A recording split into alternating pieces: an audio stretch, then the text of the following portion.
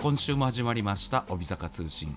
パーソナリティを務めますひろしです、えー今週ゲストにお越しいただきましたのは日本棋院伝道資料館、えー学芸員の斉藤丈一様です。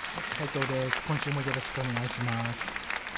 今流れてる動画なんですが、はい。ええこれ先般、えーランキング発表して上位に食い込んだ囲碁トランプほう。実際に遊んでみたということで、えー優秀な4人の選手が集まって、これ何のゲームですか？七並べ。七並べ。はい。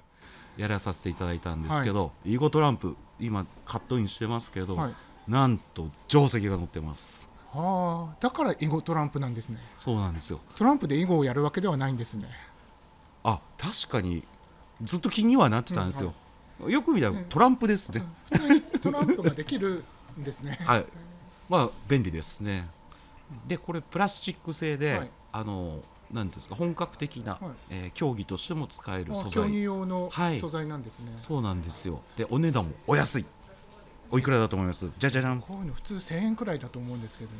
660円ではい。日本金の有楽町囲碁センター東京本院オンラインショップでお求めいただけます、660円で、はい。こんなにこれ熱戦ですねそうしてる間に随分進んでますね。七並べなんて何十年ぶりかですね。見るの、やるのも見るのも。これですごい有利だった斉藤さん、ゴール目前で失速したっていうのを聞いたんですけどこれはもう100%勝ちだと思ってもうオープンリーチをしてしまうぐらいで それがまああだになって塞がれてしまってで結局最終的結に局は勝ちましたけど優勝。優勝しました。あさすがです斉藤さん。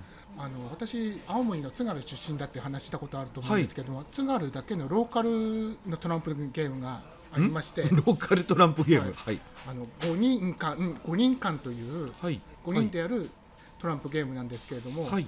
5人が並んで配られた札で2対3のチームを作るんですよ。ここで、まあ、基本的には、まあ、絵札をの数を競い合うという、これがなぜか津軽地方だけにある遊びで青森でも多分南部の方はないんですかね。聞いたことないです。今ちょっと八戸出身の人にちょっと聞いてみない。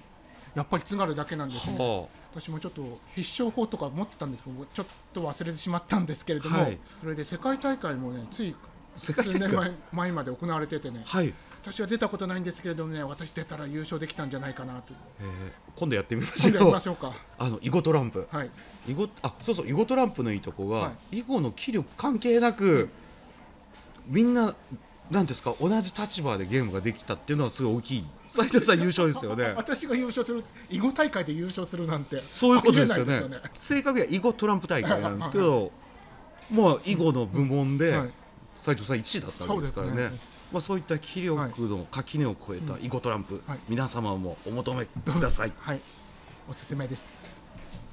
はいここで斉藤さんからよろしくお願いいたします、はいえーとちょっとお知らせ的なことなんですけれども、えー日本棋院の東京本院で今度3月2日に千代田区子ども囲碁大会というのを開催します。これあの千代田区って名前がついている通り千代田区の小中学生、えー幼稚園児しか参加できないんですけれどもなんと特徴的なのは学校対抗戦なんですね。ほう。学校単位で競い合ってどの学校が一番強いかという決める。すごいっすねそうですね。全く語ができなくても入門コーナーとかもたくさんあるので千代田区のこ子供たちみんな聞いてるかな？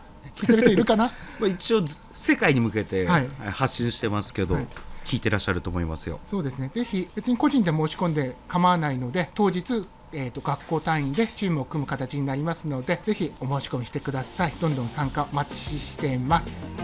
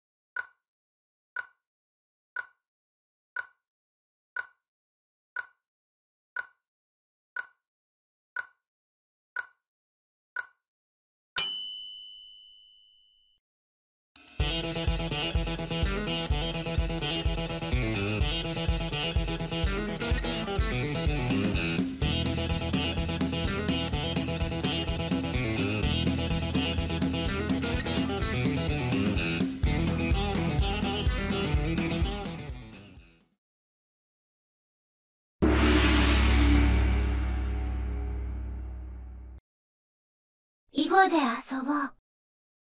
栗かの子さんのチャレンジコーナー。今日も道場で鍛えるぞ。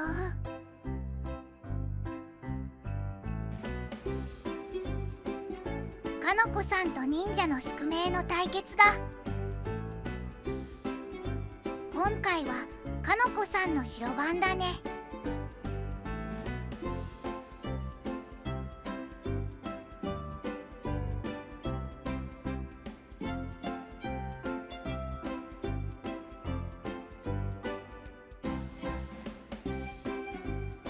かのこさんなんだかかっこいい手だね。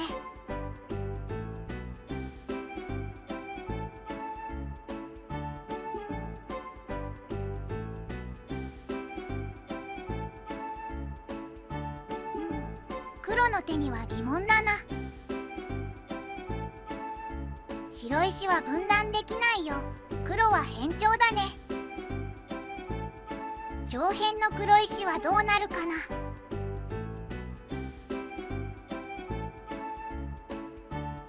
白が上辺に先着するチャンスが到来。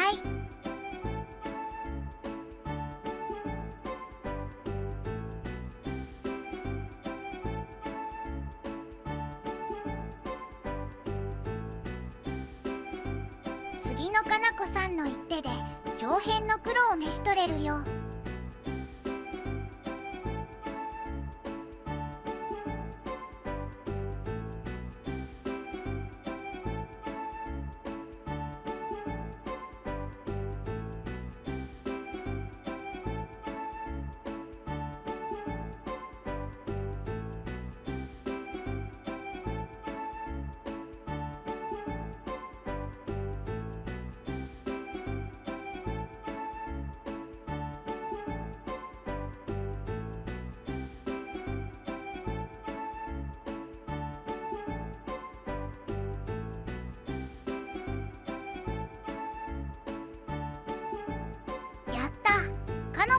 の勝利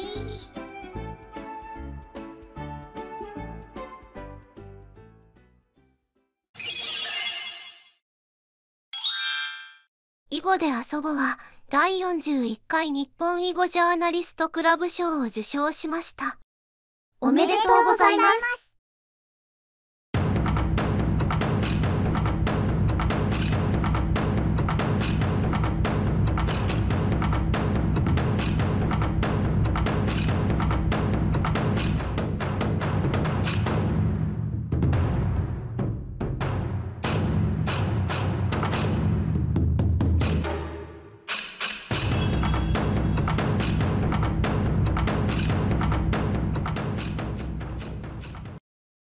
日本棋院寄付診断サービス。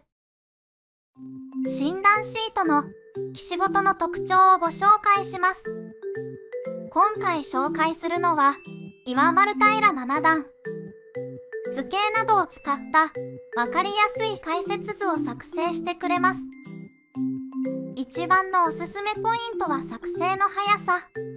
23日で診断シートが返ってきます。早く診断結果を見たい方におすすめです。寄付診断サービスは工夫を凝らしたシートで分かりやすい解説を皆様にお届けします。